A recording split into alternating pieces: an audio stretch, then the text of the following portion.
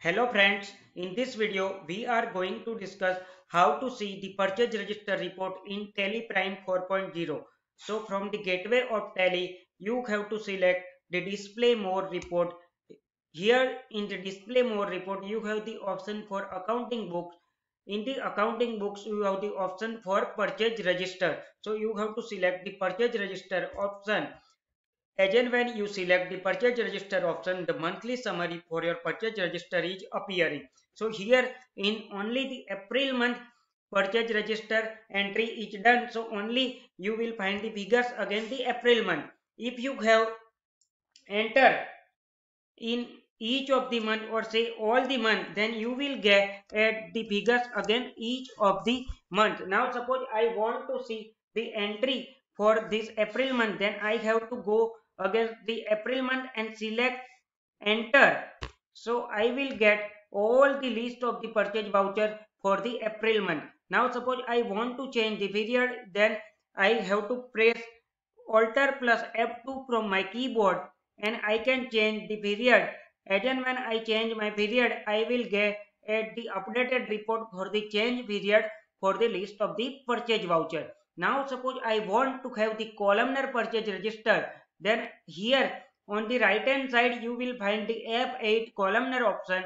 You can select F8 columnar option or you can simply press from your keyboard F8.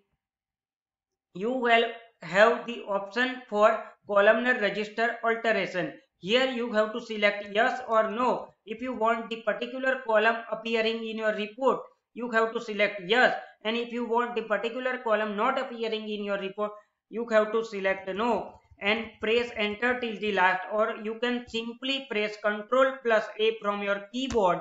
You will have the columnar purchase register report. Now suppose if you want the extract report then what you can do? You can have the change view option at the mid on the right hand side. Select the change view option. Or you can press ctrl plus h ctrl plus h from your keyboard. You can have the option for the extract select the extract. Now you can see the extract of your all purchase voucher. You can have also the option for the change period as we have discussed from alter plus f2 button. So you can also change the period and you can see the extract of your all purchase register voucher at per the your selected period. Now suppose instead of viewing the monthly summary. If you want to see the half yearly summary then again you have to go the change view option and you have to select the half yearly. You will get the half yearly purchase register summary. Now suppose if you want to see the scale factor. So what is the scale factor? So here the figures is appearing 1,92,900 if you want to see this figure in lakhs then what you have to do? You have to select here basis of value. So here eh, you will get the monthly summary.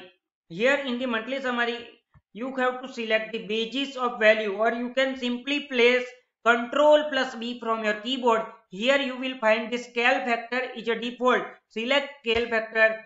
Here you will have the option for lakhs 100 million etc if i select the lakhs and press Ctrl plus A, I will get the amount in lakhs and here it is also showing that figures in lakhs.